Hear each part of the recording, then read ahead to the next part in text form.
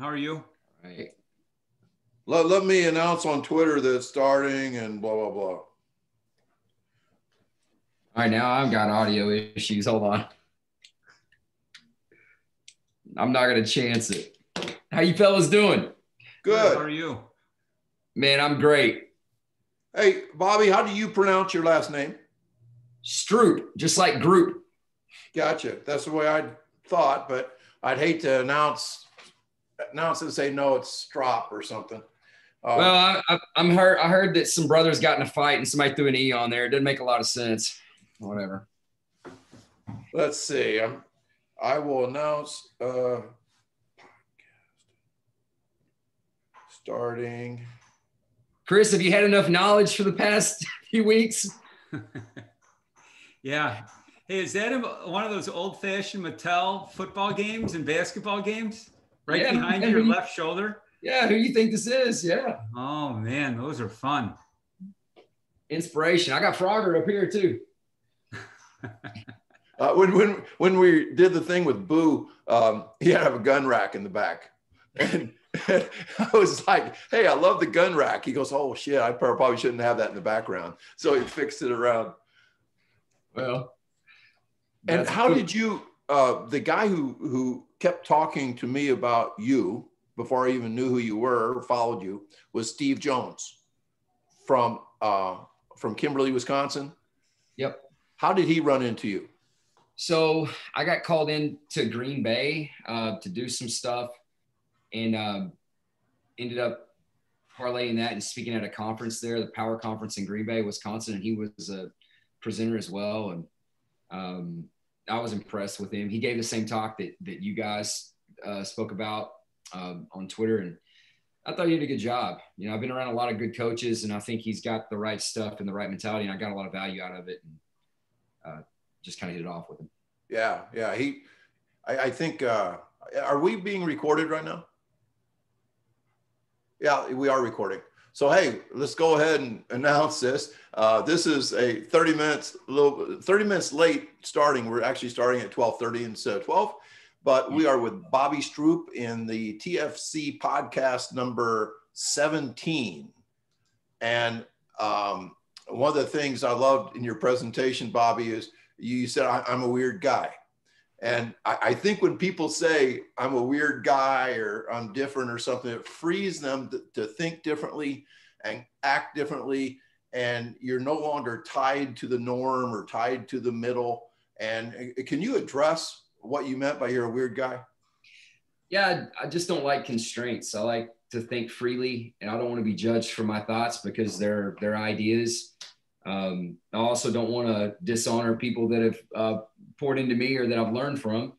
So just saying that I'm a weird guy. I mean, when I was in college and people were going to Padre, I went and interned with different doctors and therapists and coaches because for as long as I remember, I wanted to do this, whatever this is. So I think that's a little bit different of a thought process um, than most. And, you know, like Chris noticed, I'm, I kind of think of everything in uh, Mega Man and Street Fighter metrics. So when I'm looking at people or evaluating things, I have all these like number attributes from 80s video games in my head. So I'm just kind of probably a unique thinker. Uh, it doesn't make it good or bad. I don't know what it means. Now, does it have a battery in it? Do they turn on? Oh yeah, they turn on. We can Let's play see. it right now. Here. All right. Turn it on. Yeah. That. What what year did those things come out? Um, 70s, late 70s, early 80s. that had to be yeah, it had to be like 78 or something. If I'm, I think Atari timeline somewhere in there. But yeah, Whoever That's thought a red blip could create so much fun? I know, right? It's just the most basic problem solving, and you got to have imagination to even, I guess, draw any correlation to football or basketball. But I don't know. I love it. Hey, I loved your story about uh, your humble beginnings at APEC. Uh, You actually didn't call it APEC at the start. Do you want to uh, uh, talk about that a little bit? Yeah, it taught me a lot. You know, I think when you're a young coach, you probably attribute a whole lot more to to what you're doing uh, than the people around you. And you know, quite honestly, I just had great coaches and mentors that put myself in a position to feel like I could go do something like that on my own. Uh, and then when I got the chance to do that, I realized very quickly that all the opportunities I were given was given uh, were because of what other people had done. And when I had to go try to figure that out on my own, 13 clients after going door to door for three months is a pretty harsh uh, reality to face. Um, and then realizing you know nothing about business because you, you name your business after a, a car, a car part situation. Uh, it was just pretty humbling. And I've learned a lot and continue to learn a lot on a daily basis about, about those shortcomings, but you know, it, it wasn't easy. Um, glad we're here. We don't want to do that again. and I couldn't have done it without the people that I had around me. I love your logo because it has the lightning bolt in the A, which yeah, that's that's perfect. I appreciate that. Uh, I, I'm fascinated with with I don't know why, but I'm fascinated now with programs um, for older adults. Maybe because I'm going to turn 62 soon, but I'm yep. also fascinated with how poorly are the youth in this country are trained. And it's basically due to too much special specialization, too much game playing, not enough true play in the backyard, um, all those things. So can you tell us about your leadoff program? Yeah. So first, you know, our basic philosophy to long-term athletic development or whatever moniker you want to put on it is uh, movement literacy, right? So these these these are people before they're athletes and we want them to explore their body and figure out what gifts god gave them individually really it's exploratory to find out what what is their signature uniqueness and make them move as, in as many ways as possible so we gamify a lot we have a curriculum that we're very serious about but the athletes should never understand or know that. Uh, they should show up and play in our mind and do new things. And i get parents that are frustrated. It's like why are my kids crawling? They're way more advanced than this. Um, and my my feedback to them is that no matter what level of advancement you think your kid is, they don't get to skip skip the stages of neurological development and tissue tissue formation. So we've got a lot of things on a checklist that we believe in, and we kind of have a bio banding situation where kids can graduate from level one, level two, level three to level four. And I know that's a 30,000 foot view, but you know, we're not doing um, we're, we're not going to do resisted sprints with those kids. Uh, we're not timing and, and, doing different metrics and things. It's more or less, can you do this? Let's try this. How many of y'all can do this? Now let's play a game and see if we can see what you guys do with the skills you just learned. And I don't like for kids to come up and tell me I'm a I'm a tight end or I'm a point guard. So we kind of throw all that out the window. The games we play are sport agnostic. It's just skills that we feel like that we can build uh, within the constructs of what they come for. Now, the most difficult part is handling the parents. It's a hard thing to deal with. Tell us about Patrick Mahomes when he was a fourth grader. You know, I could I could make up a story and lie about this, but I honestly don't remember. Um, that's what I, I thought. he was just another kid, right? He's just a kid, and that's what's one of the best things about him. He's still a kid in a lot of ways, but you know, when you have those kids out there, you want to view them as people that are they're going to live with that body the rest of their life. And we really put it as a priority and we walk it like we talk it. And so all those kids have significant value to us. And it really is the heart of our mission, you know, mainly because my own personal experience was I was a I was a kid that was the smallest kid, boy or girl. I was always picked last.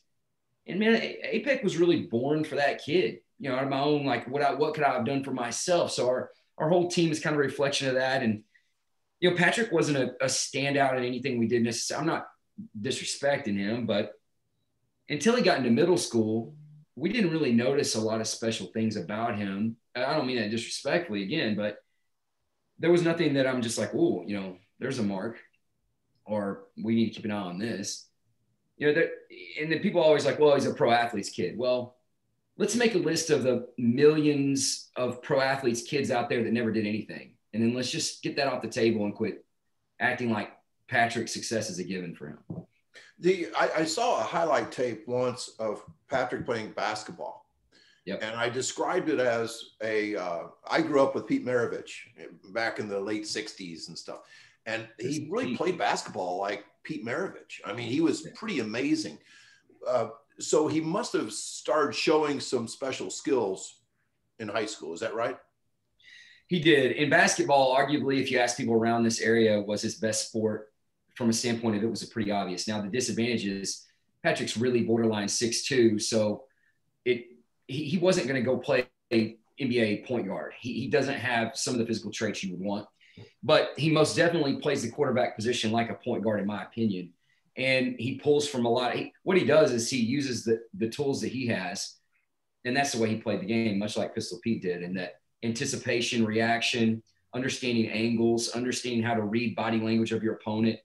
Those are some athletic attributes that that Patrick's nurtured and identified over time and he utilized. And you're you're exactly right. It's it, you're you're on on par with that, and that um, that is the way he played the game of basketball. In my opinion, he plays the game of football that way.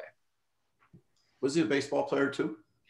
Of course, he was a, a baseball player. His dad was a pitcher. Um, and you know, when you go back and look, you'll see people throw up videos of him like hitting a home run when he's a little kid, um, or making a throw, or maybe making a half court shot when he's a little guy but nobody's going to show you film of him outrunning anyone or out jumping anyone or doing the things that we, we say good athletes do. And that was kind of the thing. It was, hey, here's a kid that's got some skills, but he's not a good athlete, which I think is such a ridiculous statement to make.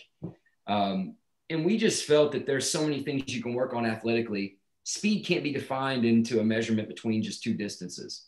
You know, the archaic meaning of speed is to Im, Im, improve the value or, or, or to just make it better, right? It's not, it's not necessarily this thing that we've kind of put in the corner in a box, right? And he's got speed. It just doesn't look like everyone else's speed. Now, before I turn it over to Chris, um, I think a lot of times I hear people say, "Well, Jerry Rice was four six. It's it's it's crazy how people are defined by maybe one time that they ran on one day. It's just a snapshot of where they were. And I've always contested that, saying that Jerry Rice was faster than hell. And I mean, to ever argue that somehow slow is better than fast because Jerry Rice didn't ran a 460, I think is wrong. Now you bring up the fact that that Patrick ran a 4.80 in the combine. Tell us why he should not be defined speed wise by that 4.80. Well, a lot of reasons, but the main reason is is that it wasn't our priority during the NFL combine process. And the reason is is because the question marks the NFL had for Patrick weren't that if he demonstrated that his athleticism on the field because he did. It was can he can he learn an NFL playbook? Can he articulate NFL concepts, anticipate what defenses are doing, and can he clean up some things with his footwork and throwing motion? Well, a lot of what a lot of people don't know is that Patrick had surgery right after his last game on his wrist, and it was pretty intense on his non-throwing hand. And he had some shoulder injury. He had double AC joint uh, separation, which is very painful. And so our priority was let's let's get him to match up with a retired NFL offensive coordinator that can hold him accountable and teach him some things. Well, that guy's in San Diego, and he wasn't he wasn't coming back. He wasn't going to go anywhere else. Like he didn't have to. And then Jeff Garcia was going to go through some finer points with him. So he was with us for about a month and he went out there for about a month. And then the combine happened. After the combine, he was back with us preparing for the NFL season. We got back to working on speed as something that was a priority at that point. Now, I'm not going to sit here and say that he didn't work on his start or then say, yeah, he did, but we didn't really put in a ton of time. Now, since then, speed has been a key performance indicator for him and a metric that we do monitor and he does compete at. So at this point, you know, last offseason, I saw him beat guys that ran four five at the combine. And these are guys that I trained to prepare for the combine. So I know what they did and then how they timed at the combine. And I see Patrick beat them in offseason workouts. So I know what he's capable of running and who he is. So he should not be defined as a four eight guy. No, and and, and the four eight guys don't run 20 miles an hour on the field. And they, and I get NFL next gen stats and I know he hits 20 miles an hour. Wow. You can't run a four eight. You're not going to run a four eight and hit 20 miles an hour. Yeah, because if you can run 20 on the field, you can run 22 uh, on a track in spikes. And if you can run 22, you're running four, four-ish, four, five. I agree. And, and Patrick's never really running in a straight line either. So if you're hitting 20 miles an hour in the way that he likes to, to move, um, I think people need to quit disrespecting his athletic ability or whatever they want to call it. You call it whatever you want He runs away from people and he decides how he uses speed as a, as a tool to solve problems out there. And he can use it. it. He's got it. Chris, I'm sorry I hogged the show so far. Oh, we got a bunch of questions up on the Q&A. Uh, in the presentation, you showed that Kelce MB medicine ball throw is lighter with lighter ball, moving slower than Mahomes with a heavier ball. What are the key limiting factors Kelce has that don't allow the same expression of power with medicine ball? Is it a process with throws, sprints, jumps, and Mahomes just has more of it over time with you? I would say it's a combination of factors. I'm not. I don't want to act like that I'm the the, the reason Kelce uh, isn't throwing a ball as hard as Patrick. I think obviously Patrick's had millions of reps at those things, but I think one of the things that makes Patrick very special as an individual is that his ability to express power from a multitude of different uh, types of situations, movements, and angulations. Kelce is an incredible athlete, and he moves well in the frontal plane. No one would disregard or, or, or say different. But Patrick's spine can produce more power than any spine that I've seen or witnessed in the history of my career. Um, he he truly is special at producing power. It, it, it truly is. It's just something I, have never seen before um, on, it, with MLB players or other quarterbacks or really any other position. So I would I would argue that anybody in the world that you could bring in to monitor power from those types of movements, he's going to be competitive with anybody out there. I don't care what their sport is or who they are. Travis is Travis is incredible, but Patrick can produce a lot more power in that movement than he can. At what age did you see that happen? Where did you see him make that jump? In middle school, we recognized that if you want to do something in a nine foot radius around somebody, Patrick's your guy. I mean, it didn't matter if it was throwing, striking, uh, swinging, or moving. And it really didn't matter what the movement was. Inside of nine feet, we recognized Patrick is that guy. I mean, he was incredible. And he started getting better. And the most important, and I think thing he should get more credit for is he learned very quickly what he is good at and what he can do that other people can't. Stopping and starting in any direction that you could possibly move, creating power from any direction, angle, swing. That's what made him different. And he knew that. You mentioned that you train mostly younger athletes. We recently started a speed school for fifth and eighth graders at our small school. We are always looking for ideas, skills, drills, and or games to implement. Can you share some of your favorites? There's so many. We like to have as much variability as possible. I, I think gamifying your warm-ups, I well, honestly, I don't believe in a warm-up. We just call it a fuse. But gamifying things, Chris, I've seen you gamify skips quite a bit. We love to do that make different plays on it. Um, that's probably the, the root of some of the things we do is just have variability and things that end up being monotonous or common things that we thread through our workouts. We try to add variability to that. We do a, so many variations of the game of tag. Uh, I think that's that's the, the place you start is how many ways can you play tag? And that's one of the better things to do with kids of any age. And honestly, I do that with athletes on the professional level at every sport too. So I don't care if you're in a bear crawl position, you only make them go sideways, it can only run backwards. There's so many ways to do it. So I would say at the root of it, you know, duck, duck, goose, tag, that's that's where we start.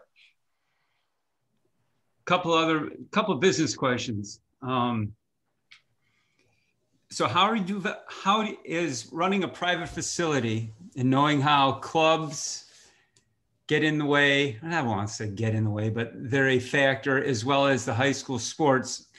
How are you navigating and developing relationships between the club coaches, the high school coaches, where you may have coach X say, we need to run a lot more, and coach Y saying, no, you need to do this. And then they come to your facility and you say, we need to do this? Yeah, I think it's important to first say that you know, we have a rule with our company that we won't say anything negative about a coach um, to a client.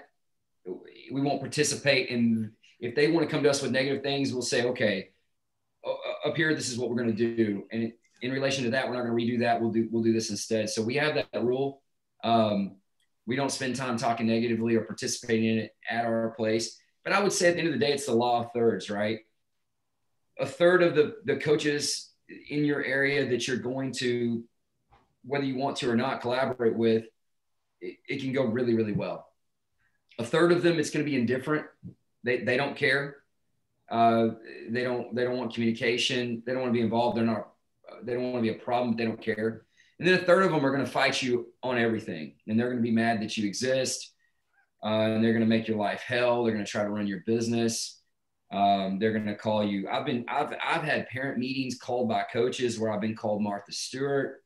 Um, I've been called of you know fake this that and the other, and it just can get out of hand. Honestly, it's the biggest hell that we deal with um, in the private sector is people attacking us that we don't even know um, and saying things that we honestly can't defend. And it, it, it can be, it can be honestly, it's it's the worst thing about what we do.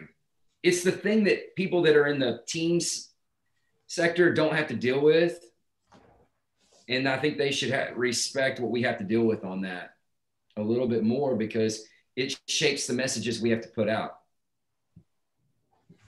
How many clients do you have? You have two facilities, correct? One in Fort Worth and one in Tyler? Right. So at our brick and mortar locations, you know, at the peak of our highest season, we'll carry a thousand clients in those facilities in a given week. Um, at our base outside of summer months, I would say probably around 500 clients in those brick and mortar locations.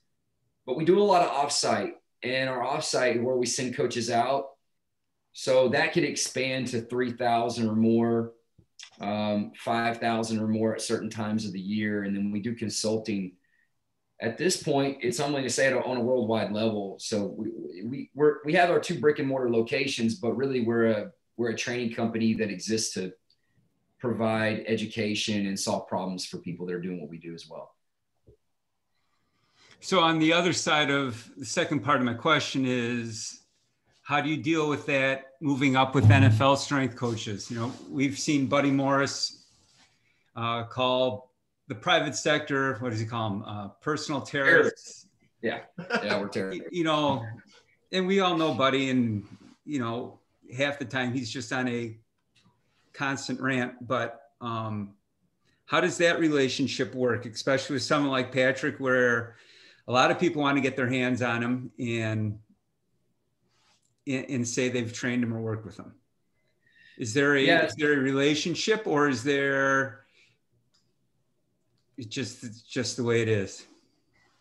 I think you know, Chris. There's always a relationship, whether you want to talk about it or not, or yeah. or or it's something that is. And and I'll I'll just so to keep everybody off their into their chair. Okay, Buddy is a treasure, and I I love what he does, love what he's done, love his career, and I agree with him. There are a lot of terrorists out there, um, and people trying to credit take and and do stupid stuff, and he's right.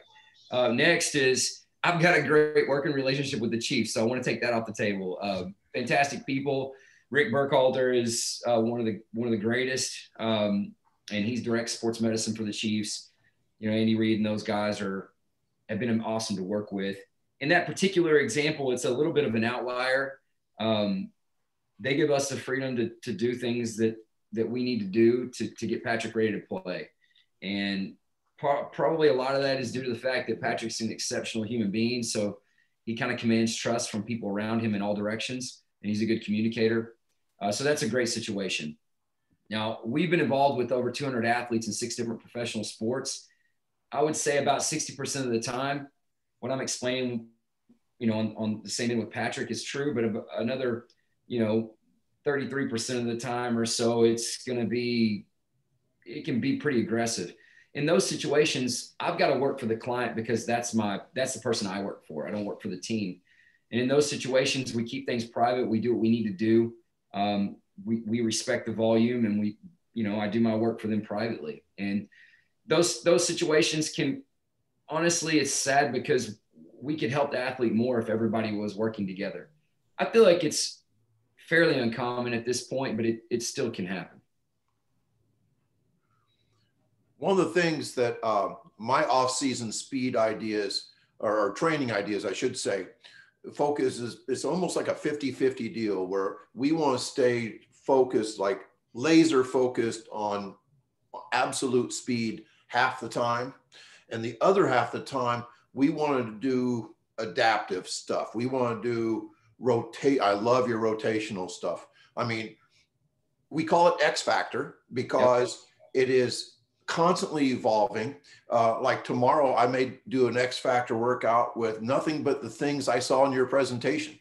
It's it really is like your stuff is like total X Factor. And one of the things with X Factor is this microdosed, like, and, and you just do one rep of everything, which I absolutely love that idea.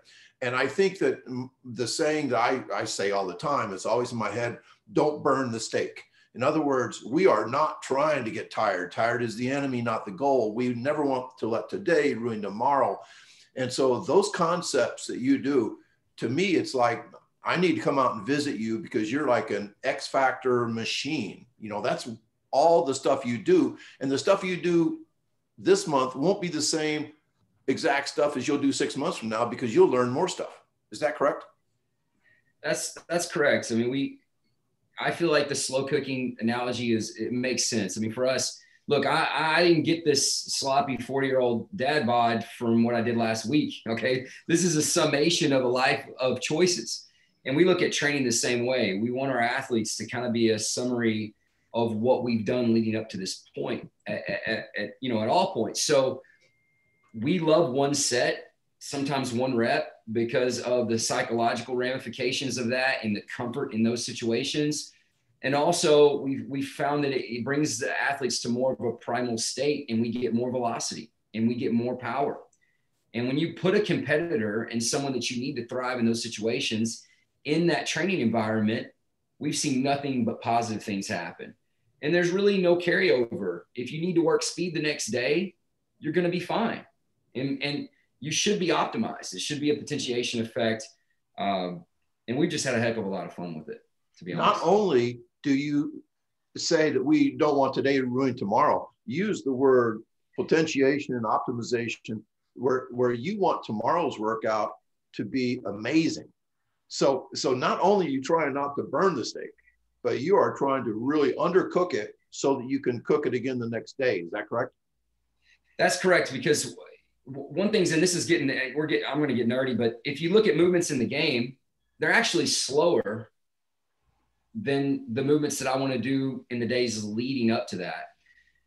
I want to expose them to speeds that are going to be much faster than what they actually need to access in the game. Because I want the neurological system to feel comfortable going beyond what is necessary in competition. Because then I feel like power is going to be optimized in that margin in which they do need it. So, for instance, throwing a football, uh, football has weight. You've got the constructs of the problem you're having to solve. Um, you've got to make a throw that is catchable. So it's going to be slower than if I take a towel and say in 15 seconds, you're going to get as many as you can in a complete throwing motion. Or I want you to set and solve a problem with a different arm slot every time in 30 seconds. That's going to be much faster. So if that's going to elicit a faster release time from his decision to ball being out, that's what I want. Same thing with speed. It's just like isolating a section of a sprint instead of running a full 60. I'm trying to get his fastest so that I see his fastest when he actually needs it. And and you are truly uh, the word conditioning is such BS because to most people conditioning means doing a ton of volume, a ton of fatigue so that you're you can play an entire game. But you are, I always say, you, you, you should train at 100 miles an hour to play 80 miles an hour in the game. And so you are truly trying to hit higher game speeds. And that is truly the correct way to condition an athlete to play fast in the game. I think so. I mean, I feel certainly in the days leading up to the game. The day after the game, I mean, there, there's value in the aerobic system being conditioned, but you don't have to condition the aerobic system system for that to happen. I mean, look, the value of the aerobic system in team sports is that your neurons stay hot. If your neurons stay hot, your communication's better. That means if a running back sits on the sideline for 48 minutes and he comes in on a third and 20 and needs to run a draw for 21 yards, he's not going to pull a hamstring because his neurons are his neurons are warmed and they're primed so he can access the energy systems he needs to perform. That is the value of the aerobic system. But if you go look at a workout and you have long workouts in the beginning of a week, you are working your aerobic system just in the volume of a two hour workout. You don't need to run down and backs and shuttles for the aerobic system to be conditioned. I mean, if you practice the right way, your aerobic system is more than conditioned. I mean, if these guys are, look, I mean, if they're eating seven bags of Doritos and taking drags off whatever, they're going to be deconditioned. But that doesn't mean you need to run more gassers. So a lot of people are start. We have a lot of younger coaches that are starting uh, their careers, and some may want to get to the point where you're at, where you have two beautiful facilities. So, what are three cornerstones that they can build off of to kind of get to the point where you're at? Oh, I don't think anybody should want to get to the point where I'm at. I think this. I mean, how many people can put Brad Pitt in the corner of their PowerPoint and get away with that? How come I mean, you didn't have Meet Joe Black in there? That was a great movie. well, because I can't look like that at all, not any simulants or even a joke. So I was worried, man, because I have this sense of humor, and I was like, "This is like the biggest flop ever." I thought it was funny, so I did it for me. But whatever. I thought it was um, funny too. It's just I was I'm like River runs through it. How come you didn't have River runs through it in there? I love it. I just didn't. I was trying to think quick, you know. Think I was trying to think of wild characters that are kind of funny, but you know, I shouldn't have left those two characters out. You're right. You're right. I shouldn't have. Um, but I, I just look. Everybody's got their own journey. I didn't arrive at this with some kind of roadmap. Okay, it's. I never had a goal of working with a pro athlete ever. That was never what I wanted to do. I wanted to help the kid that was me when I was young. That's it. That's that's what I wanted to do. And um, we got here through a lot of blessings. And I would say this: work on what's in front of you. Okay. I, I did a talk one time on 15 lessons uh, failing forward in the private sector, and I could probably make that available. But you know, look, you got to work with what's right in front of your face. Every everything that you have the opportunity to work with, you've got to value as much as someone perceives that I value working with Patrick. Anybody that knows me uh, and has been in our space knows that the same energy and passion um, and, and need to help people everybody in our company has that same thing from the top down and the bottom up. It's a real thing. If you don't do that, you'll never get to what you think you want to get to. Um, you know, when you when you when you start a business in Tyler, Texas, you can't you can't tell people people will commit you if you tell them you want to create a worldwide, you know, training power or whatever you want to call it. Like that's ridiculous. You can't you can't have stupid goals like that. You got to help people where they're at. You got to improve their lives to the field of human performance and you got to protect futures of the people you care about. And that's really what we just stick to. That's our totem right? And you know at this point we've ended up being given some some opportunities. And i'm a gambling man okay? So anytime i've gotten money i throw it all down on the table and bet, red or black. Um, we haven't missed yet. At some point we will but i wouldn't be setting goals on on what i'm doing. And last thing I'm worth more dead than alive. Okay. I've got three life insurance policies because the bank made me. So don't set your goals as to what I'm doing. That's a foolish thing to do. The uh, you, you talk a lot about feet, and um, I would love to get you in a room with with Chris Korfist and Dan Fichter, who are both also obsessed with feet, and just video the entire discussion and it would be brilliant. Um, and for the average athlete, they live their life in coffin shoes, you know, that make their feet go dead, that, that you ruin all tactile sensation. Um, but you train the feet constantly. Is that correct? Yeah, I would say at least four days a week. There's going to be footwork, um, for every athlete in season or off season. You know, everything starts in the foot. Every transformational zone, every process from a tissue and neurological standpoint. So if you play this, if you play the sport standing up, and you have issues in your feet, the issues will not stop there. So we've got to get everybody to their ground zero as many as much as possible. And dealing with a lot of athletes that you know, NBA and Major League Baseball and NFL. And the cleats are terrible. They can really teach you that you don't need your feet. And then you all of a sudden start having this little nagging tendinosis issue, or, you know, you've got this hip or lower back pain. And I'd say at least nine times out of 10, and I'd be interested to hear what Chris says. It starts in the foot and the ankle, you know, nine times out of 10. I would agree that everything's a response to three times your body weight falling on a leg that's got a whole bunch of bones, very small bones that aren't meant to take a whole lot of force, but somehow they do. Uh, and I, I agree completely with spikes. I think spikes are a major factor in injuries, um, especially spike placement, um, where the cleats are aligned to someone's foot, because Nike or Under Armour, whoever, they mold one set of spikes. Right. But everyone's got a different shaped foot.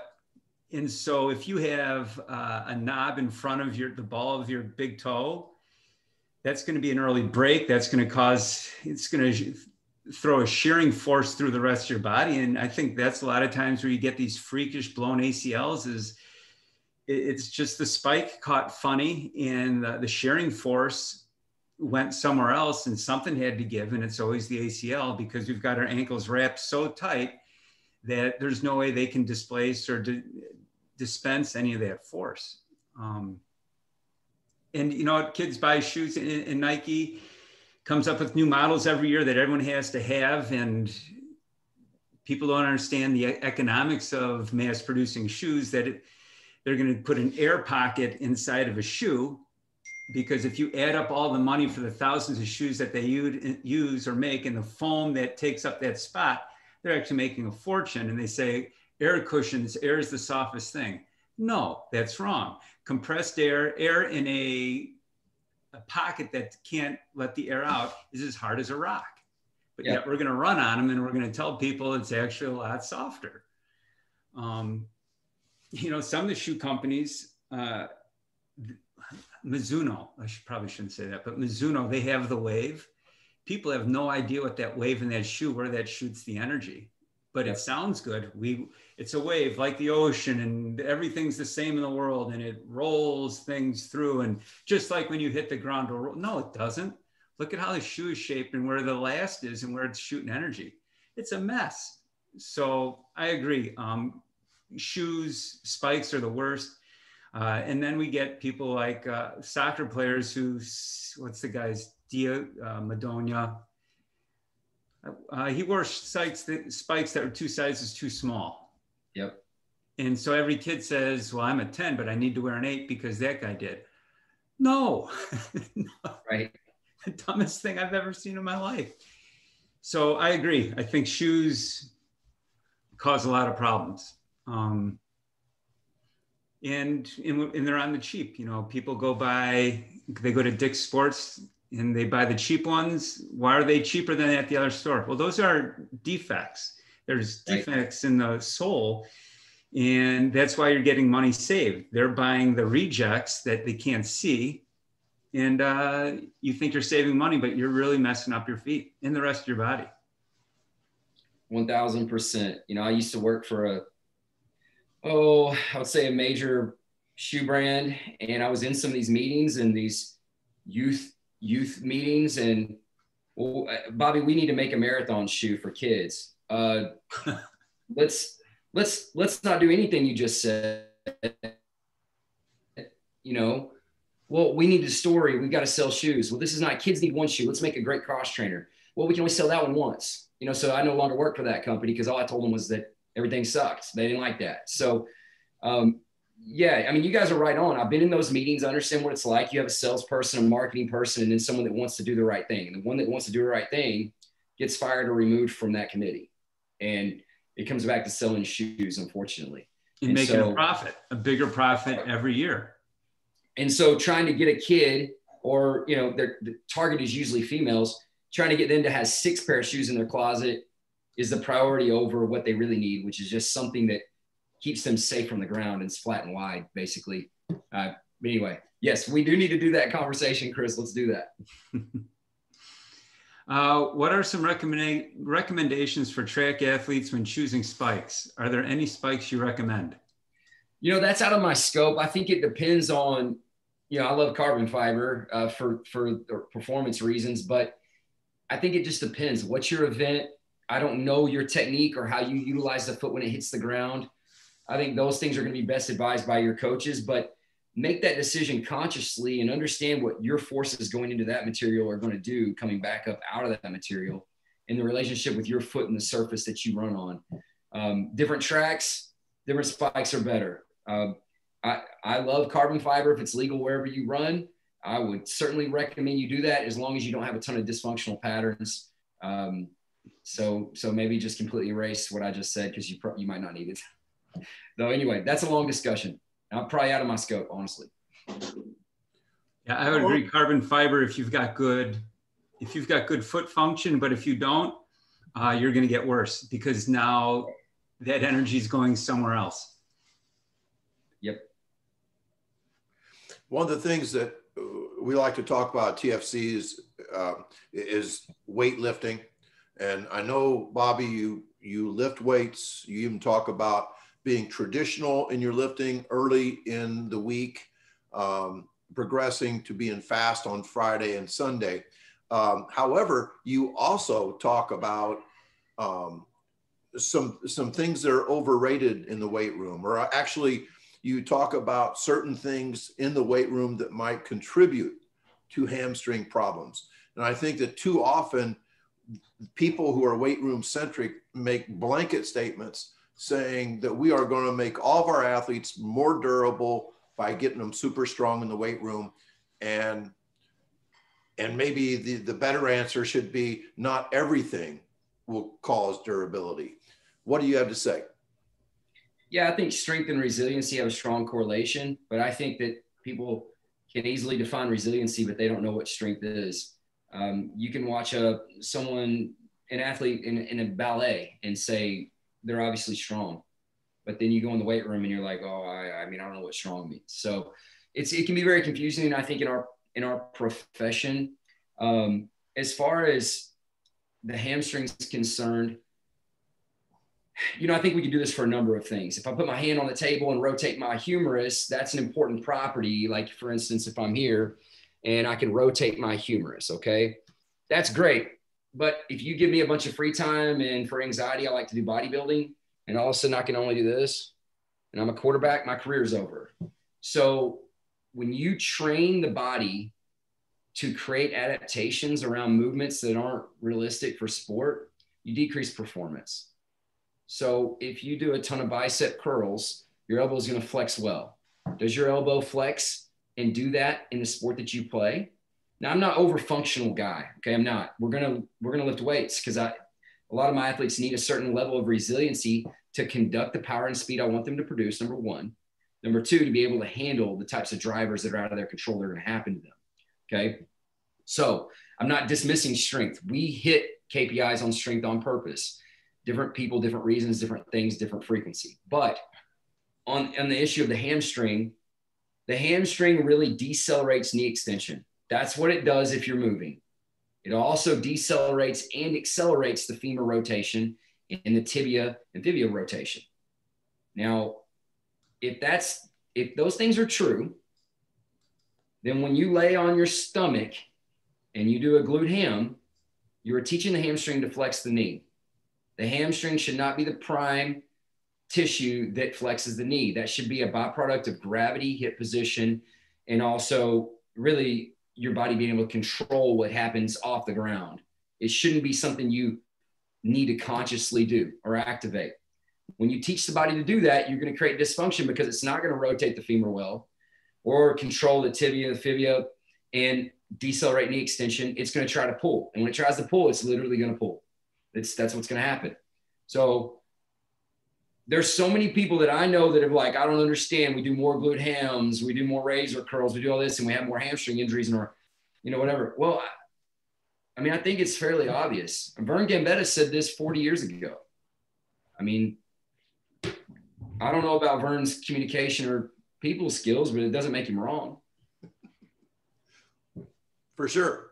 Uh, one of the things that um, that leads into a, a question I discovered through my 40 years of coaching track that my basketball athletes never got injured, never had hamstring problems. So in my head, I'm thinking multi-directional, rotational work must be really, really good. And that really influenced all my X Factor ideas.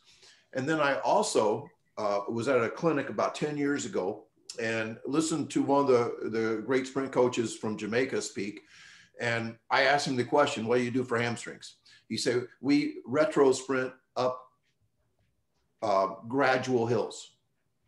So, so they, they run backwards as fast as they can up a yeah. gradual hill. And so once again, that fed into my multi-directional idea that somehow only lifting weights and sprinting in a linear fashion is somehow uh, asking for injury. I agree. And we do a lot of similar things. Backward running is a great bang for buck option because of what it can do for the big toe, properties of flexibility, stability, uh, and mobility, and for dorsiflexion of the ankle, but also it grooves that counter rotation that you need. It teaches the talus and the, the calcaneus to slide and move together in concert with each other. And it also teaches the body to extend the knee with the hamstrings. And it's, it's, a, it's huge. It's, it's, it's a really easy thing that you can do. But another thing to think of is if you go take an athlete, like, like you, you, take your track athletes and go run an agility drill, whatever that is, I'm being educated constantly. And you, you do an agility drill and then go like first time a 10, do an agility drill, go time another 10. Second 10 is going to be faster. Why? Because you're exposing the body to different driving forces and angulations through the hip and the spine and through those different counter rotation and, and relative rotation transformational zones. They're going to come back and they're going to run faster because it's like oiling the axle. It works. And it just like an X factor thing will work. It's not really potentiation, it's neurological it, it, well, that's potentiation too, but it's it's more neurological ranges of motion and coordination, not not necessarily just recruitment from a neural standpoint. And so I don't mean to go off on a tangent there, but there's a reason why your basketball players have less injured hamstrings because their body understands that movement is a lot more dimensional or a lot more multidimensional and multidirectional than linear or sagittal plane, probably better to say.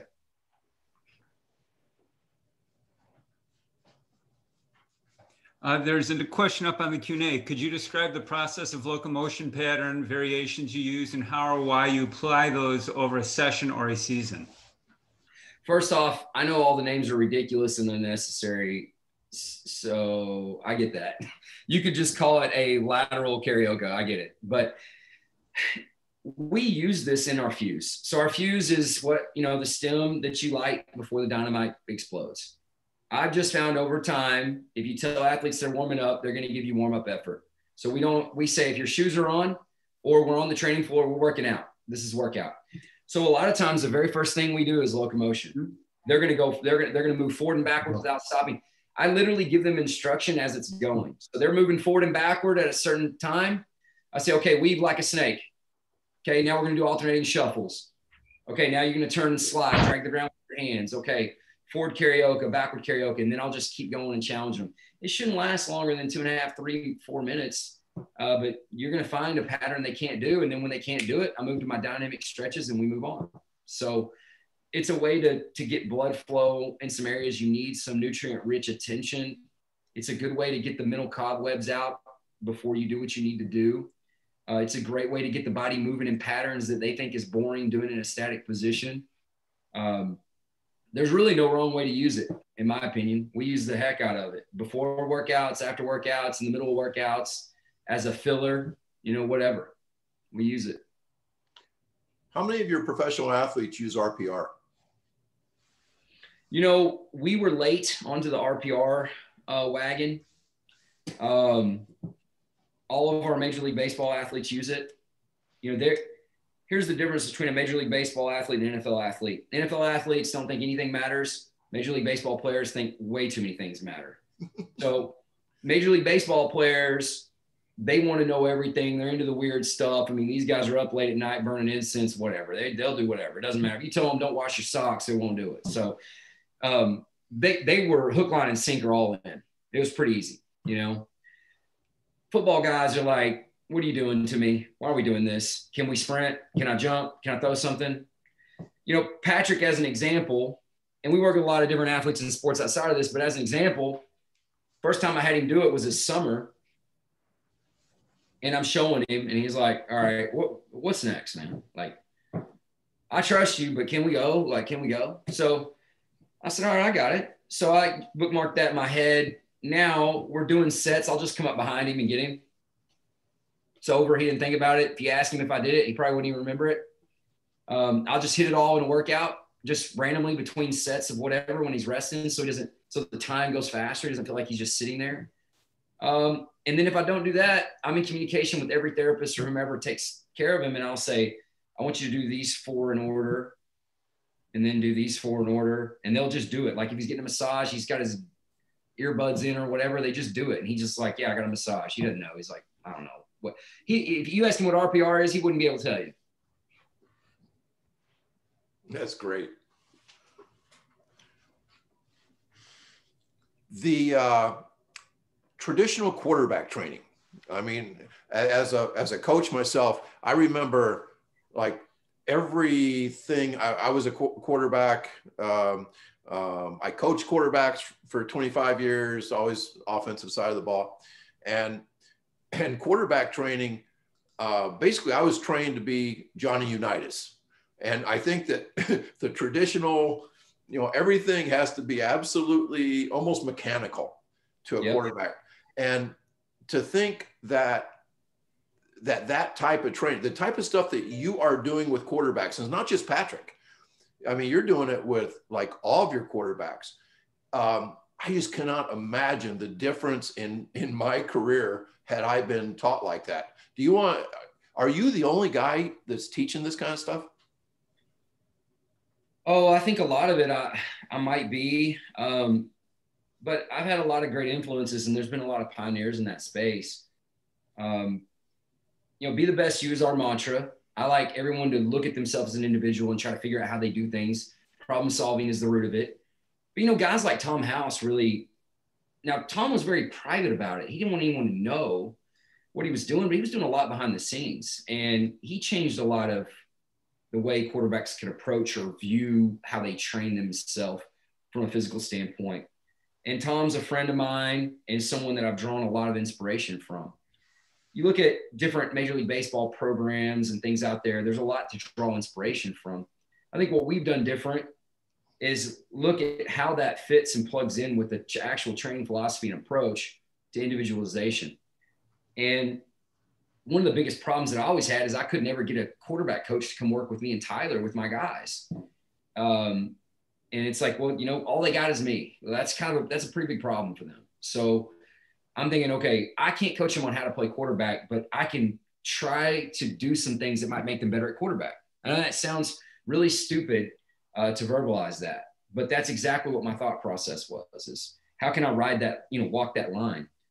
And what we found is that our guys were doing some things that were just they were happening frequently. And quarterback coaches would be like, oh, we can't run an offense with them doing all this stuff. And that, that that's flukish. I'm like, if it's flukish, how come all 28 of our quarterbacks this year, regardless of their 40 time vertical weight room numbers, are literally all making plays like this? Like, why? Started drawing correlations, trying to get rid of things we don't think had anything to do with it and doing more of what we thought did have to do with it.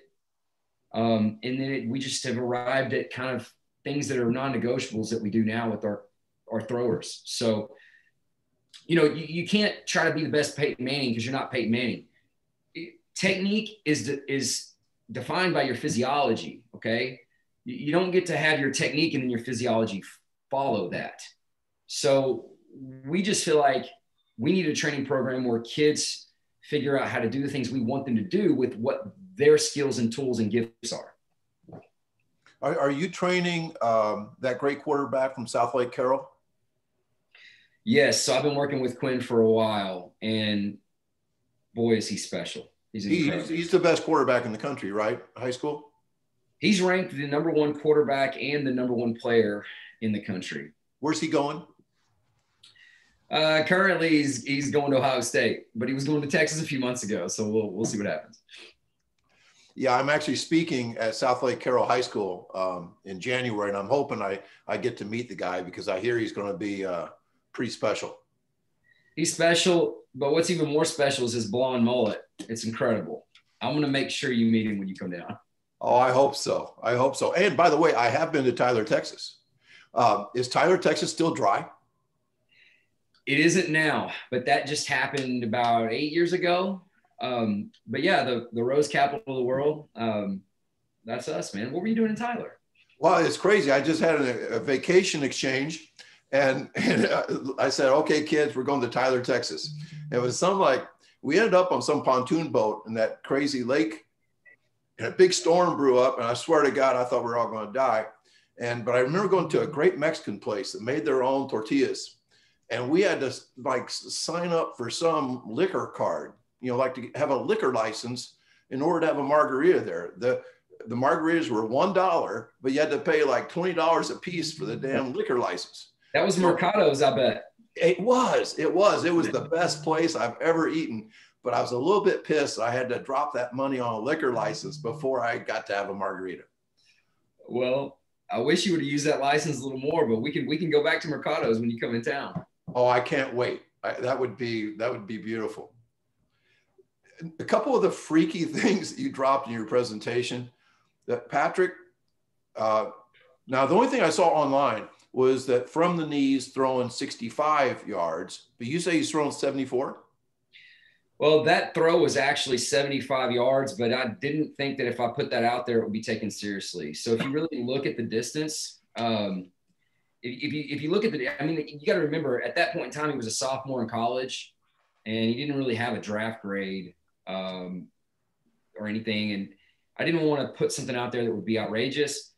But if you go look at the distance on there, you know how long, how wide that track is because you know track distances. And then you go look on the yardage on the field, look at the height of the fence, and then look at where that ball actually lands, the trajectory. We went out and measured that. That's 75 yards. 75 so, yards is a long throw for a great quarterback on his feet.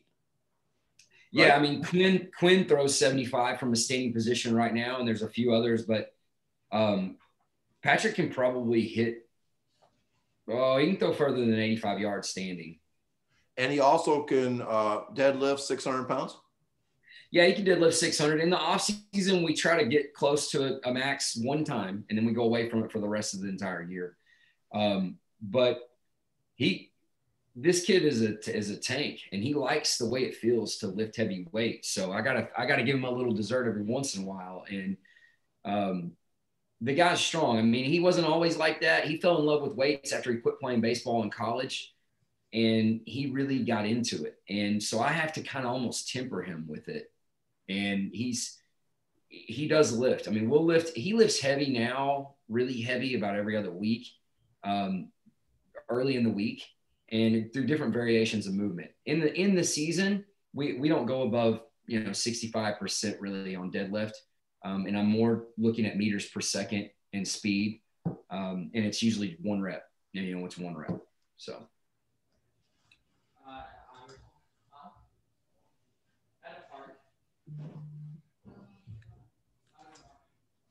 Chris, did you have something? No, I'm good. I'm trying to figure out my children are doing. They're supposed to be cleaning the house and they're doing something else. That's good. I just I have a lot of stuff. I don't want to hog it. Oh, go ahead. Okay. Um, I don't know if you saw Cal Dietz's presentation, but he showed the owl where he turned the owl in all direction and the eyes and head stayed right there. It's just an amazing reminder of the rotational abilities that we have. And, and then you showed, you showed uh, um, Patrick doing like a 180 lunge where he turned his head all the way around just like an owl and you also mentioned how no matter how crazy his body is, how his head stays still and his off arm stays still. Can you elaborate on that? Yes. So I did watch uh, Cal's presentation, and that effect is exactly what we want from our throwers, pitchers or quarterbacks or javelin. I don't care who it is. Well, not javelin necessarily because they don't have a target, but you want your head still and you want your front side arm still. That's going to create a pendulum effect. So in my mind, there's two types of rotation. There's real rotation, so how you can actually rotate and move, and there's relative rotation. These have a relationship, but they're not the same. The relative rotation is how well your body rotates around a, a, a tissue or a joint or, or just a, a bookmark place. And we want our quarterbacks and throwers to have the highest level of relative rotation possible. It's just like if you play tetherball, it's all moving, everything's good and great. But when that rope catches, that's when the velocity happens think of your ability to stay still and allow for that relative rotation phenomenon to happen is when that the rope on a tetherball uh, game catches. That's when things should speed up around you. And, and really, when you stop, that's when everything else speeds up. So you want the guys to extend out in front. You want them to finish. And that's one of the best ways to get guys to finish. You start moving your head. You watch a thrower that's inaccurate. Watch them do this. Watch them do this. Watch them do this, this, this. And if they they're going to do it different with every throw, that's why they never know where their throw is going, and that's a problem. So a lot of the no look passing concepts come from him just deciding this is where I'm going to hold still. My vision is going to continue to read what's happening, and I'm going to throw that thing here. But that's his best attempt at keeping still, not necessarily not looking, because it's not truly a no look. He is looking, he's just not turning. Those are two different things. With as funky as Patrick is, and as different as he is, um, has has have any of his coaches tried to put him in, a box, or have all of his coaches say, "Patrick, we want you to be Patrick"? That's a great question. He's been lucky. Well, I shouldn't say lucky. Obviously, he's got some skill in the way he makes people feel um, and his interpersonal skills. And so people haven't really tried to have an intervention with him. Um, I think early in middle school and high school, obviously, you're a coach, you're trying to get everybody to a certain level of proficiency. So you can't really blame those coaches for trying. And I think that might have been some of the reason why he didn't start till the third game of his junior year at quarterback. You know, he wasn't the quarterback even for his grade. Um, probably because his technical model was just so far off of what they were teaching for their programs that it was kind of hard to recognize what his real skills were, right? But no, when he got to college, I mean, the, the reason no one liked his skill set. I, you guys can say that all these people saying whatever they did.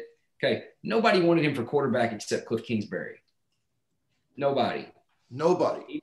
Nobody. Even his senior year, a couple people came in late. It was people that were like, when you start getting offers from people that are in the hot seat, you know that they're like, hey, risk it. Who cares? Let's see if this kid can do it. You know, that's not what I'm talking about. I'm not talking about that.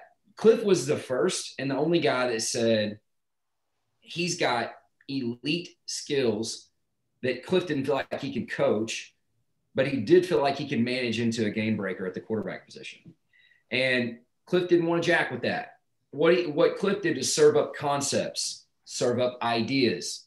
And I think that's an incredible way to coach. And Patrick is so blessed in that when he was going through the draft process, he told his agents very specifically, I don't want to go to the highest pick. I don't want to go to this, that, and the other. I want to go to the best situation. And Andy Reid and, and, the coaching philosophies that he has is he allows freedom and creativity uh, and fun, which is very important with his athletes. And with Patrick's personality, it couldn't have been a better fit. There, there's so many scenarios that could have turned out differently, but it, it's just a perfect situation. He's blessed for that. And I think that's something a lot of people forget that, you know, why does this first round draft pick guy not make it his first or second year? Half of the NFL is where you fit you know, in Chicago, everyone complains about Mitch Trubisky. We could have taken Patrick Mahomes first. I don't think Patrick Mahomes would have been Patrick Mahomes if he if he came to Chicago. I think it was just a fit and where people seem to fit.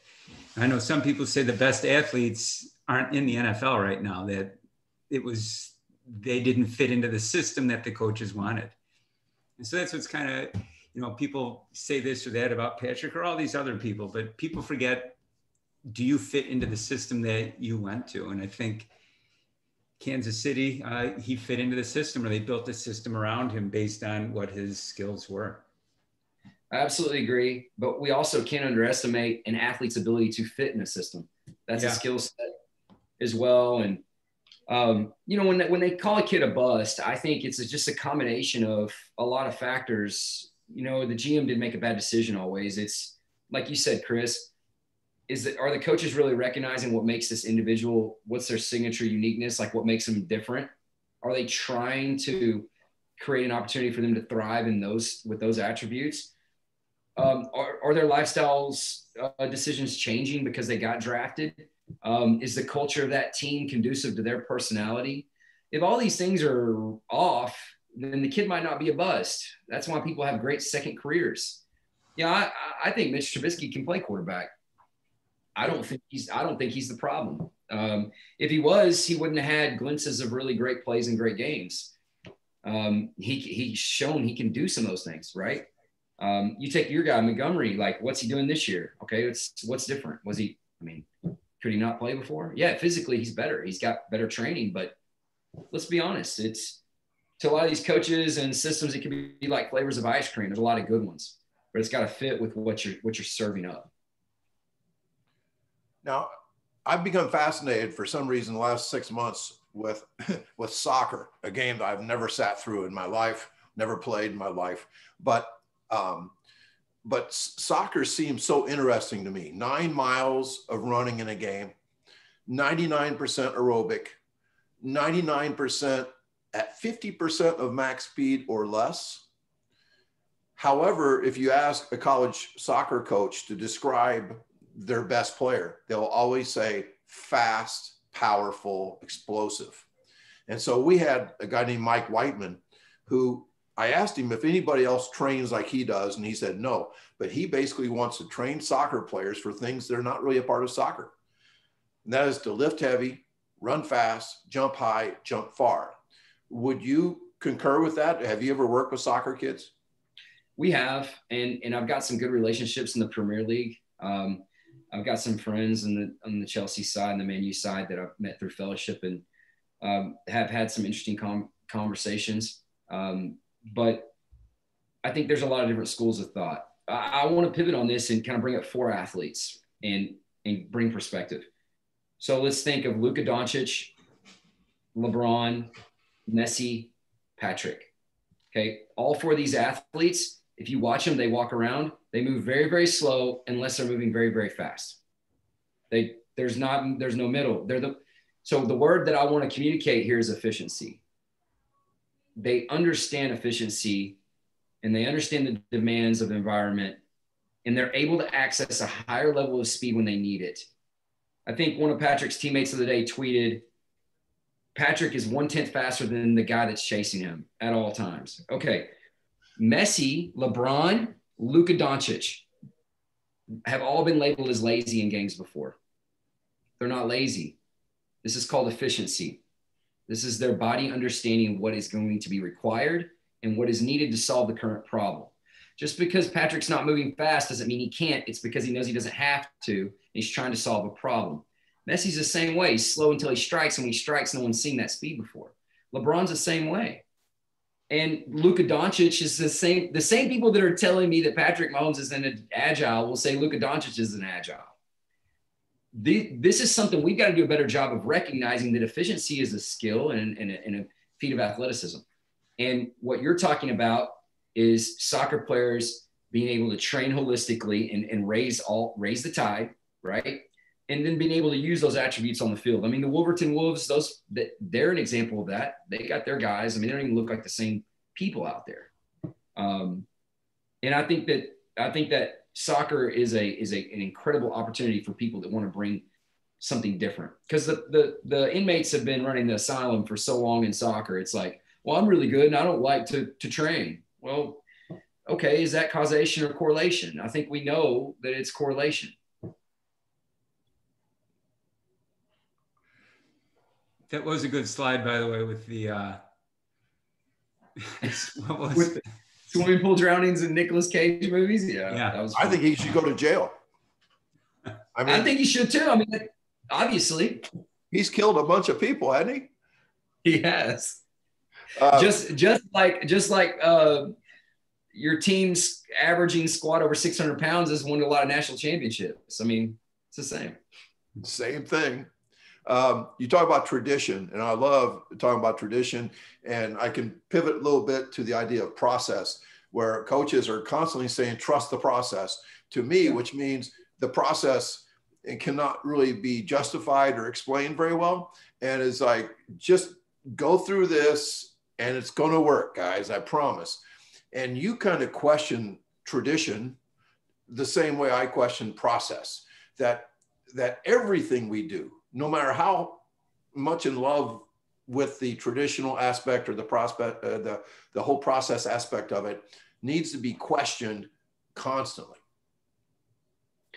I agree. I, look, process is, I don't have time for process. I need to know if something's working right now. You know, I, me, So when I'm training an athlete, look, one area where you could use that the, the the word the nomenclature process for Tiger Woods redoing his swing when he's the best player in the world. That's a process. The reason that's a process is because he's literally going to take a step back from a results standpoint before he takes a step forward. That's a process. So in skill acquisition, there could be process. Why, why would you call it that? Because there's going to be a super adaptation to that. There's going to be a time where you rebound. In training, we don't have to have that all the time in order to get gains. So I don't need a process. I tell my coaches that work for me, I tell my team, I tell my people, I'm like, this is not a process thing. They should be better at this today. If they're not better at this today, the training session sucked. Like that's that's my expectations. Okay. Now that's not across the board with every single agenda that we have or box we want to check, but overwhelmingly, we are just over reliant on process. There's no reason 80% of these things need to be a process of anything. Fix it today. If it's not a physiological marker or problem, it's neurological. Neurological things can be fixed now.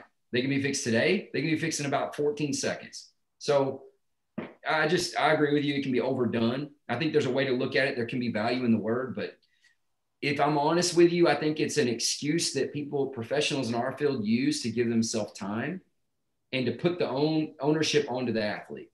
And I think it's lazy.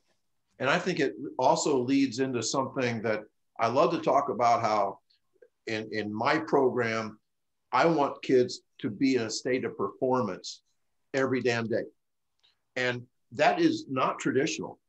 The traditional way to practice was more of a process, more of a, like you said, the warm ups are oftentimes going through the motions. And that was acceptable to many coaches back in the day. And that, that practice, even though the games are at 80%, they practice for three hours at 60% because that was the process to get them ready to play. And so it seems like your guys, I mean, they only get one shot at every drill they're doing. You guys, your guys are performing at every workout. They are, and that is our in-season model. In the off-season, I'll be honest, not every single thing is like that, but there are still threads of that that are that are consistent. So I would agree. I think you know I got slaughtered a couple years ago on social media because you know there's a big movement for Big Squat Wednesday in Texas, um, and I just made it pretty clear we're not going to do heavy squats on Wednesdays in any program that's associated with APEC. And um, like, well, why not? This is mini state championships, and and I'm, I'm like, well, I just didn't make sense to me. So people that work for me in our company, we're not going to do it. Well, why didn't it make sense to you? I said because I actually would like to try to work whatever speed I can on Thursday or Friday or Saturday because speed is the key performance metric that I'm judged on. And it's the thing that I think is most important that we value. And if I do heavy squats on a Wednesday, I am not going to get any speed adaptations on Thursday or Friday. I can try to run fast, but that's not the same as speed development. So they're like, well, I don't, I disagree. And I'm like, well, you know, I disagree that the sun's out right now, but I can open these windows and the sun is shining through here. So we don't do that, but I think there's just a lot of dogmatic things. And, you know, if you if you're if the most important thing in your pro- program is heavy squat, that makes perfect sense. You should do that on Wednesday. For us, it's not. So those are some of the things we work through. And these are people that I that I respect, and they've done great things and they do great things. But it all comes down to values, perception, communication, and execution. Um, and so I'm with you. I like more every day is game day type of training um, I don't want to I don't want to shoot the horse in the leg and then tell it to run fast. That's not my deal. I love it. That was really a thing. You're not making that up. That's not only is it really a thing. I mean, there was a there's a uh, one of some really highly respected people that made that a big deal. That it still is a thing. I mean, it's a it's a thing right now. There's they wear t-shirts. So every Wednesday, everyone wears the same T-shirt too. I don't know if everybody does, but it says Big Squat Wednesday on it, and they go for new maxes. And again, look, not not making fun. There's been some great programs associated with this, and it's not just one group. It, it actually comes from some people that have had a lot of success on some high levels in the NFL and some other places, and they do a lot of great things. I'm just saying for our company and for what we do, if speed is a priority, we can't afford to do Big Squat Wednesday. Yeah. You know, if they had a lot of success and you can correlate a lot of state champions in football to people that did that. Now, we will never know how much of effect that had on. However, um, it's something that we chose not to do. And I kind of got reprimanded for that. Um, but that's okay. So, well, in football, a lot of times it seems like everybody does very similar things.